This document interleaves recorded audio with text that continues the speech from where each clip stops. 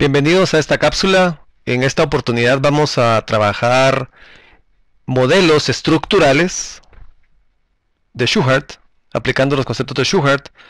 Em, solo que en vez de trabajar datos estacionarios, recordemos que en cápsulas pasadas hemos visto datos que tienen eh, o variables y que no tienen crecimiento, ¿verdad? y construimos límites de control para este tipo de datos. Ahora vamos a trabajar gráficas estructurales. Déjenme poner acá gráficas estructurales. Y se llaman así porque siguen la estructura de la data. Ahora lo que vamos a hacer es eh, tratar de construir un modelo que sigue la, tendencia en este caso. Y vamos a construir límites también de control de Schuhart que nos dan una aproximación de eh, bajo condiciones de estabilidad por donde podría moverse la data y esto pues eh, tiene aplicaciones muy interesantes. En esta, en esta oportunidad pues no me voy a enfocar en las aplicaciones, me, voy a enfocar en la mecánica de cálculo. Eh, y vamos a ver que este es un método eh, aproximado. voy a obviar algunas precisiones econométricas. y recordemos que el motivo no es simplemente por, por no ser preciso, sino porque a la larga una de las observaciones interesantes que ha hecho Schuhart eh, eh, o que hizo en su momento, es tratar de eh, que las herramientas sean fácilmente utilizables en el, mundo real. ¿verdad? Entonces vamos a, hacer una, versión un tanto aproximada, pero que funciona bastante bien en la práctica. Lo que vamos a hacer es calcular entonces em, este tipo de modelo y, como siempre son varias cápsulas para poderles mostrar el proceso. Entonces vamos a, a primero, en esta parte, en esta primera parte, vamos a trabajar eh, vamos a construir la tendencia, que quizás es lo más fácil, pero vamos a, trabajar la, tendencia lineal. Y la tendencia, para, eh, para ello hay, esencialmente hay dos maneras de hacerlo. Eh, vamos a ver dos formas ahorita. Una es, quizás la más sencilla, es con a, trendline. Noten que ustedes se, pueden, se ponen sobre la línea de datos que quieren analizar. en este caso estamos asumiendo que son ventas de una empresa. Y vamos a decirle a Excel que nos tire una línea de tendencia. Y noten que aquí Excel me da varias alternativas, me pone em, distintas formas que puede tener la data, ¿verdad?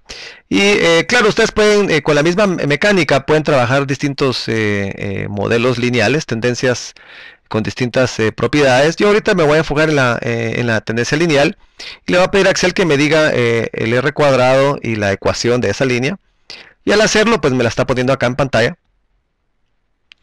Recuerden que yo siempre asumo que eh, yo voy rápido porque estoy asumiendo que ustedes pueden detenerme, ¿verdad? Y, o repetir la, grabación. Eh, acá estoy utilizando notación em, científica Excel y esto pues puede ser un poco incómodo para algunos. Una manera sencilla de arreglar ese problema es eh, se ponen sobre, el, sobre la, la, información, el label que está acá, ¿verdad? Le hacen clic em, clic derecho, ¿verdad? Y acá donde dice Format Trendline Label, Acá le pueden decir a Excel que trabaje con números, ¿verdad? Y pueden ponerle ahí el número de decimales. Yo le voy a poner 2. Y acá pues está eh, poniéndome ya la data. Y este es el modelo. Este es el primer modelo que me está proponiendo Excel. en este caso, em, notemos que primero está lo que sería el intercepto. O la intersección en el eje Y, ¿verdad? También se llama el intercepto del modelo. Y acá tenemos la pendiente del modelo. Y está la pendiente. La pendiente del modelo. Y entonces eh, lo que me está diciendo Excel acá es, eh, imaginemos que estos son ventas en millones, estamos hablando en dólares, por lo tanto en el primer año, por ejemplo, de data, eh, vendió 4 millones la empresa, en el segundo año vendieron un poquito menos, vendieron 3 millones 28 mil, y así se ha ido moviendo en el tiempo. Y lo que queremos es ese, modelo que más o menos describe la conducta de esa data que va en ascenso. Entonces lo que me está diciendo Excel acá es eh, el intercepto, podemos verlo como el punto, eh, podemos verlo como el punto donde eh, intercepta el eje de las 10 la data, que sería también el año 0. Pero digamos, también se puede ver de manera un poco más práctica, podríamos verlo como la cantidad de ventas en el año 0, o bien si la empresa empezó operaciones en el año 0, una forma de verlo es eh, la cantidad de inventario con la cual eh, tuvo que arrancar la empresa, por ejemplo. Es una manera de, verlo en el contexto real.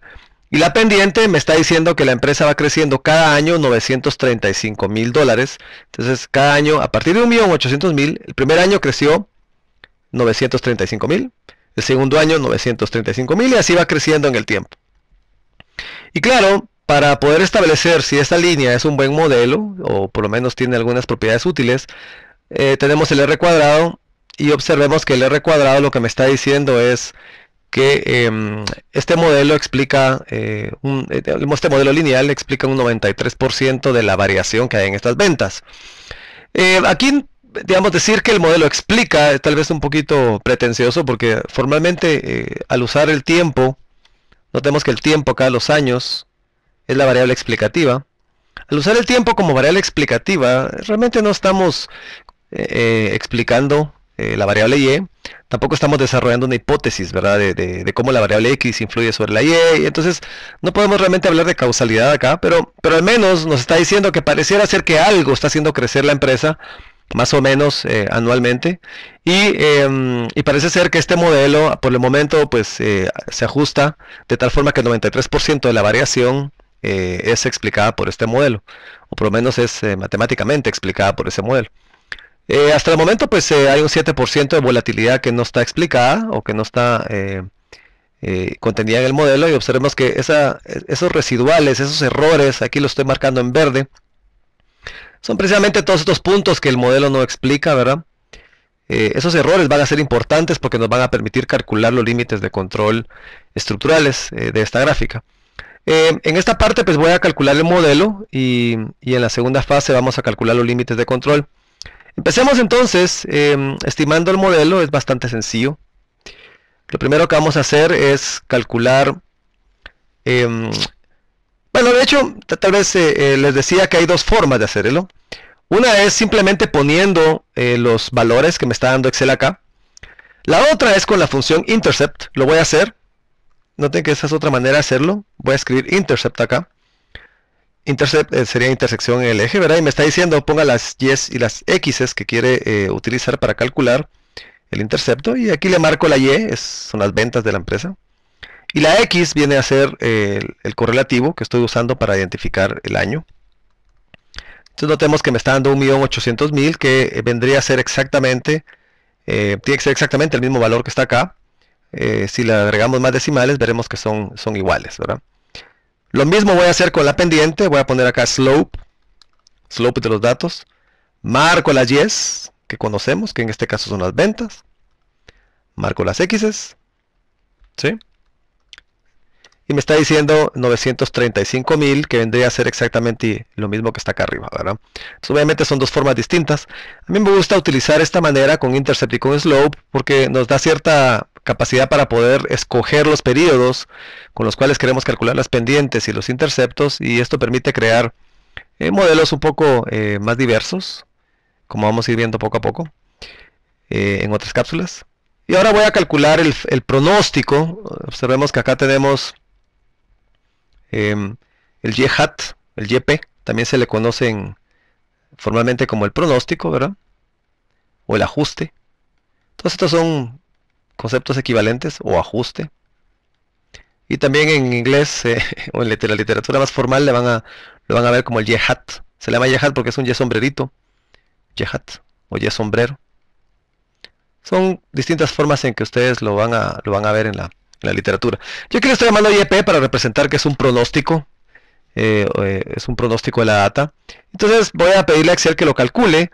Vamos a calcularle primero. va a ser simplemente el intercepto el intercepto.